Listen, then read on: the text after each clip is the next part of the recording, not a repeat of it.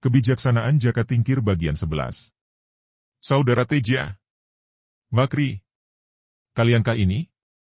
Tiba-tiba petani itu berseru gembira. Teja dan Bakri tercengang dan memandang penuh perhatian. Kemudian mereka berseru gembira dan meloncat turun dari kuda. Raden Jaka Tingkir, seru Teja. Aduh, Raden. Kaukah ini? Bakri segera merangkul. Dua orang tamtama ini memang sahabat-sahabat baik Jaka Tingkir, tentu saja pertemuan ini selain mengagetkan, juga menggirangkan hati mereka. Bagaimana kau bisa berada di sini, Raden? Tanya Bakri. Jaka Tingkir tersenyum dan menggandeng mereka untuk duduk di pinggir sawah, di galengan. Kemudian dengan singkat ia menuturkan maksud kedatangannya. Selama aku pergi meninggalkan Demak sampai tujuh bulan, Apakah ada berita dari keraton? Apakah Gusti Sultan pernah menanyakan aku? Dengan penuh gairah Jaka Tingkir bertanya kepada kedua orang sahabatnya atau anak buahnya itu. Dua orang tamtama itu saling pandang, lalu masing-masing mengangkat pundak. Sepanjang pengetahuanku, tak pernah ada berita dari keraton, Raden. Gusti Prabu belum pernah bertanya tentang kau, kata Teja dengan suara perlahan dan disertai nada kecewa. Juga selama itu Paman Patih tidak pernah berbicara apa-apa tentang kau, Bakri menyambung dengan murung. Jaka Tingkir yang tadinya dengan wajah penuh harapan mengajukan pertanyaan, sekarang seperti lampu kehabisan minyak. Mendung gelap menutupi cahaya harapannya dan ia merasa seakan-akan jantungnya berhenti berdetik. Sampai lama ia duduk termangu-mangu seperti lupa bahwa di depannya duduk dua orang tamtama yang memandang kepadanya dengan penuh iba. Akhirnya, melihat keadaan Jaka Tingkir seperti telah berubah menjadi patung. Teja menyentuh lengannya. Aduh, Raden, harap kau kuatkan hatimu. Jaka Tingkir sadar kembali, lalu menarik napas panjang. Tidak percuma ia menerima gemblengan dari Ki Ageng Butuh, segera ia dapat menguasai hatinya.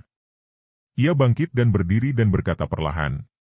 Teja, Bakri, pulanglah dan lakukanlah tugasmu baik-baik sebagai satria. Kemudian ia lalu berjalan pergi tanpa menoleh lagi, diikuti pandang mata sayu oleh dua sahabatnya itu. Sayang, sayang sekali seorang satria gagah itu disia-siakan oleh sang Prabu, Teja berkata. Bakri menarik napas panjang. Nasib manusia berada di tangan Tuhan yang Maha Agung? Dua orang satria ini kehilangan kegembiraannya dan tanpa banyak bicara lagi mereka meloncat ke atas kuda dan memutar kembali kuda mereka, pulang ke kota raja.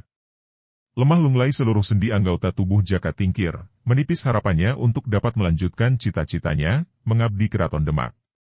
Duh, Rama, berat benar jalan menuju kepada kemuliaan, bisiknya berkali-kali, bersambat kepada ayahnya yang telah meninggal dunia.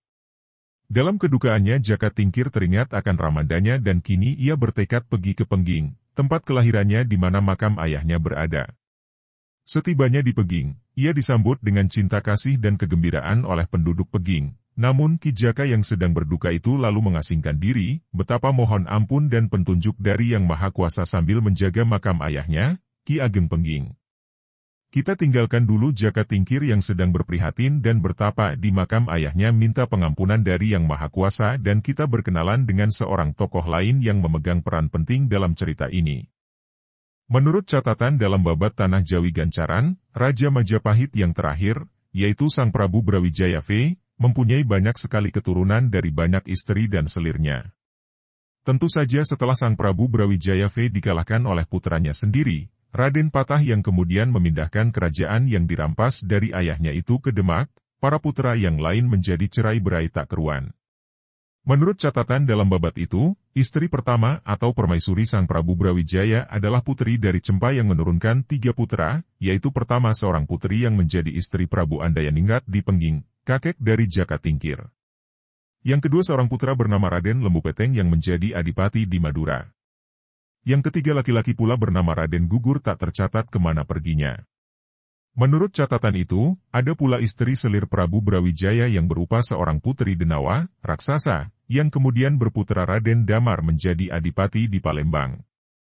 Selirnya yang didapat dari Tiongkok, yang dikenal dengan sebutan Putri Cina, mempunyai putra yang kemudian amat terkenal karena menjadi pembangun kerajaan Demak pertama, raja yang dibantu oleh para wali di tanah Jawa, yaitu Raden Patah. Selir Putri Wandan mempunyai putra Raden Bondan Kajawan, menjadi mantu Ki Ageng Tarup. Dan masih banyak lagi selir-selir yang mempunyai putra-putra dan putri-putri. Akan tetapi yang hendak kita ikuti adalah keturunan Sang Prabu Brawijaya dengan putri dari Begelen. Putri ini melahirkan seorang putra bernama Raden Jaran Panoreh yang kemudian menjadi adipati di Sumenep Pamekasan. Pada waktu cerita ini terjadi ada seorang keturunan Raden Jaran Panoreh ini yang meninggalkan kerajaan dan berkelana, kemudian menjadi seorang pertapa di Dusun Talpitu, bernama Harya Jambuleka. Dusun Talpitu terletak di lereng Gunung Dumilah, Gunung Lawu, dan di gunung inilah Harya Jambuleka ini bertapa. Ki Jambuleka mempunyai seorang putra yang amat tampan dan ahli tapa pula seperti wajah ayahnya, bernama Mas Manca. Semenjak berusia belasan tahun, Mas Manca sudah menerima pelajaran ilmu-ilmu yang tinggi daripada ayahnya sendiri. Pemuda ini berkulit hitam manis, bertubuh sedang dan sepasang matanya yang terang tajam menjadi perhiasan wajahnya yang paling menarik, membuat wajahnya semakin tampan. Semenjak remaja, Mas Manca mengikuti jejak ayahnya dan selalu berkemandang di dalam telinganya wejangan yang seakan-akan telah menjadi tembang yang selalu dinyanyikan suara hatinya. Bertapalah angger, kurangi tidur dan makan. Akan menguatkan batin memperkaya iman. Perut lapar mengingatkan kita. Akan penderitaan dan kemiskinan rakyat jelita. Menggugah ulas asih kita. Mendorong kita untuk menolong sesama. Tidur kekenyangan hanya mendatangkan kemalas-malasan. Banyak duduk diam berjuga. Membuat kita waspada bertapa menguatkan batinmu. Dalam ketekunan menambah ilmu. Membuka matahari kita akan kebesaran Tuhan Maha Mulia. Pada suatu hari Mas Manca menghadap ayahnya dan menyatakan permohonannya agar supaya ayahnya mengizinkan dia pergi berkelana untuk menambah ilmu dan pengalaman. Anakku yang bagus, tempat kita ini sudah begitu indah dan sunyi, Hawanya pun nyaman sekali, cocok bagi kita untuk bertapa mengheningkan cipta membersihkan hati dan pikiran. Kenapa kau masih tidak puas dan hendak pergi ke tempat lain? Rama keinginan saya pergi berkelana bukan sekali-kali terdorong oleh ketidakpuasan dengan keadaan di tempat kita ini, bukan sekali-kali karena saya menganggap tempat ini kurang indah. Malahan semata-mata karena ingin meluaskan pengetahuan, menambah pengalaman. Sudah lama saya mendengar tentang keindahan dan kekeramatan pantai Laut Kidul, dan saya ingin sekali menikmati keindahan di sana sambil bertapa. Ki Jambuleka cukup mengenal watak putranya. Ia tahu bahwa putranya ini memiliki kemauan yang amat teguh, dan niatnya tentu akan dilaksanakannya. Kalau ia mencegah, tentu anaknya akan menjadi patah semangat dan selalu penasaran. Di samping itu, ia pun maklum bahwa memang amat berguna bagi seorang muda untuk meluaskan pengetahuan dan menambah pengalaman hidup. Biarlah puteranya merasakan sukarnya orang berkelana seorang diri, merasakan lapar dan sengsara, mengalami segala macam goda dan cobaan agar matang jiwanya. Baiklah, kulup, kalau demikian kehendakmu. Ayahmu tidak bisa memberi bekal sesuatu kecuali doa restu dan pesan agar kau selalu ingat akan semua ajaranku dan selalu berhati-hati, waspada dalam menentukan sikap menghadapi sesuatu.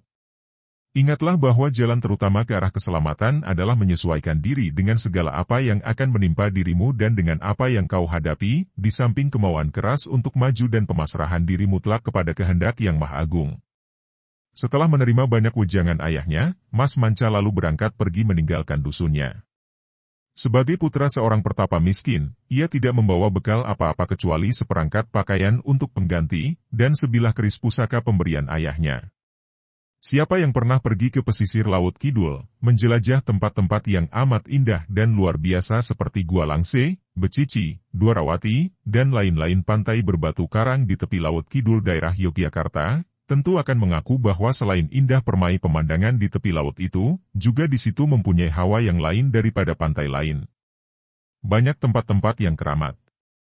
Bukit-bukit batu karang sepanjang pantai, dengan gua-gua yang besar dan aneh bentuknya. Batu-batu karang yang runtuh dari bukit sepanjang ratusan bahkan ribuan tahun dengan bentuk beraneka macam, aneh dan menimbulkan suasana serem-serem menarik.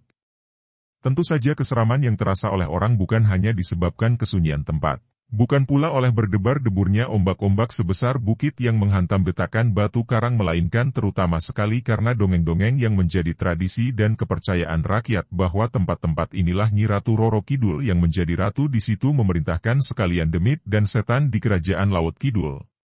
Ketika untuk pertama kalinya melihat semua ini, Mas Manca berdiri di atas sebuah batu karang besar dengan mata terbelalak lebar memandang ke tengah lautan, di mana ombak-ombak laut bagaikan ratusan naga berkepala putih saling kejar tiada henti.